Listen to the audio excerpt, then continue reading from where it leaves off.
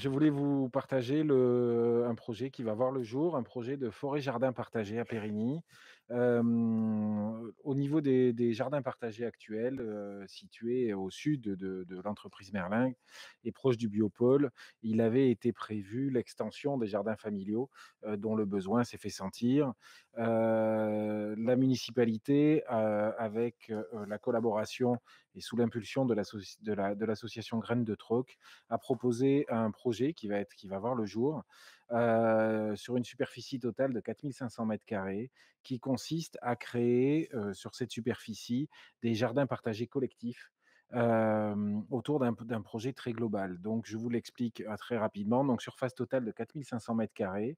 Ce terrain est actuellement utilisé par les services techniques, de la commune pour entreposer des stockages, des matières organiques qui sont collectées sur la ville. Donc bien sûr, il faut qu'ils puissent continuer à travailler, donc une, superficie de 1000 m² leur sera réservée. Il y aura 600 m² de parcelles de jardins partagés. Il y aura la première année une dizaine de parcelles, mais le but est de parvenir à 24 parcelles au total, sur 3 ans. Il y aura la plantation également de, un minimum de 105 arbres fruitiers et 40 petits fruitiers. Bien sûr, ce seront des essences locales qui seront, qui seront privilégiées. Le but de cette forêt-jardin est bien sûr de favoriser une autoproduction en fruits et légumes pour, les Pérignatiens et les Pérignatiennes.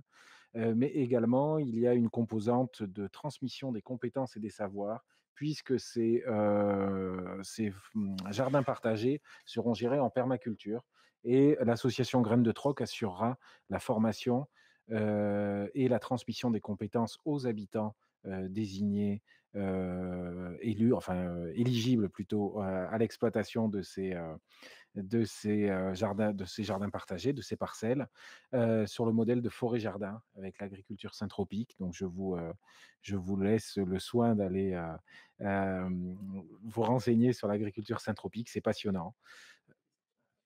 Non non pas Saint-Tropez, syntropique, hein, je précise.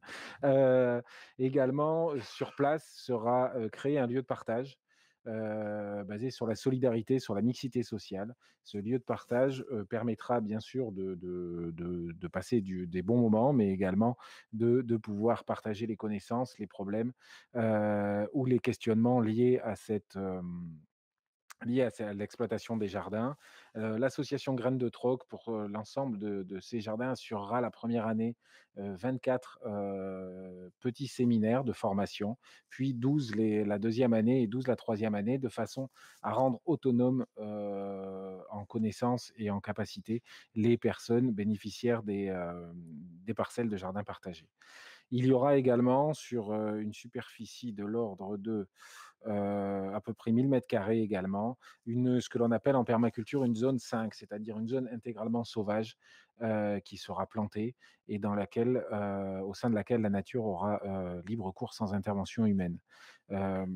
Le et bien sûr cette, cette zone sauvage sera un refuge pour la biodiversité, qui sur cette superficie a peu, d'égal, sur sur la CDA.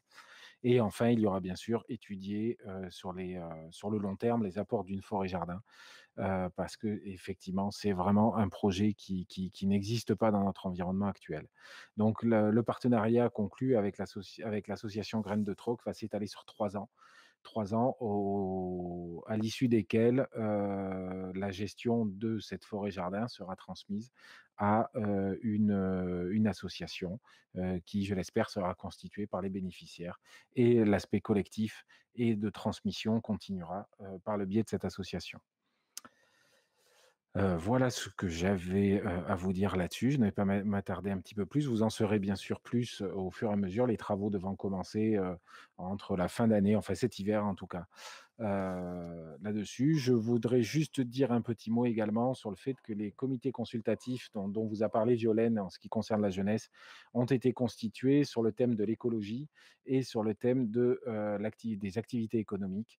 Donc l'idée, de ces, comités consultatifs est de recueillir la parole citoyenne la plus, «brute» entre guillemets, de façon à ce qu'elle puisse influer le plus directement possible sur la politique et que les citoyens soient, acteurs de la politique de la de la municipalité au même titre que nous et nous accompagnent dans cette, dans cette démarche.